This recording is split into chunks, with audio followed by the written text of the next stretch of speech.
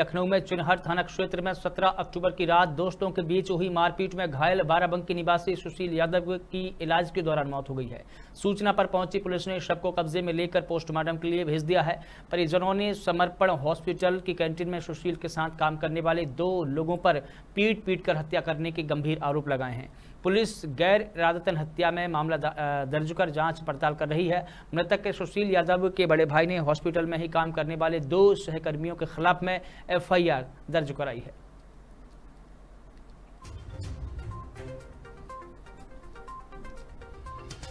भाई के हमारे नौकरी पे थे, ड्यूटी पे हैं।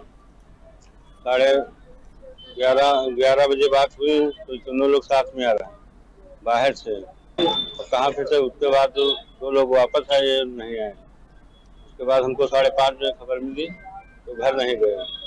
अब ढूँढने लगे तो बाहर रोड पे हम मिले। उसके बाद एडमिट करवाए। सिटी के लिए ले जा रहे थे उसके बीच में है। हाँ सुशील और सुभाष। भाई गए हमारे भाई तनख्वाह पे ना। और तनख्वाह ले जा रहे दो लोग मिलकर उनसे तनख्वाह छीनी ने उनको मार दे। कौन से कहाँ काम करते थे भाई आपके समर्पण में। समर्पण में कहाँ पे? ये अरे का पास। मटियारी पे यहाँ क्या क्या काम करते थे कैंटीन में। थाना चिन- अंतर्गत एक हॉस्पिटल समर्पण हॉस्पिटल में।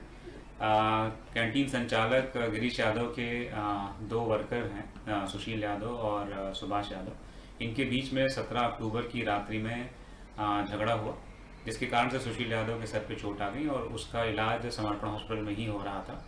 18 अक्टूबर की प्रातःकाल सुशील यादव को लगी हुई चोट के कारण सुशील यादव की मृत्यु हो गई। तत्पश्चात सुशील यादव के परिजनों ने थाना चिन्हट पे तहरीर दी जिसके आधार पर 304 का अभियोग पंजीकृत किया गया। आ, इस घटना में जो अभियुक्त सुभाष यादव उसकी गिरफ्तारी कर ली गई है। शेष अन्य विवेचनात्मक कार्रवाई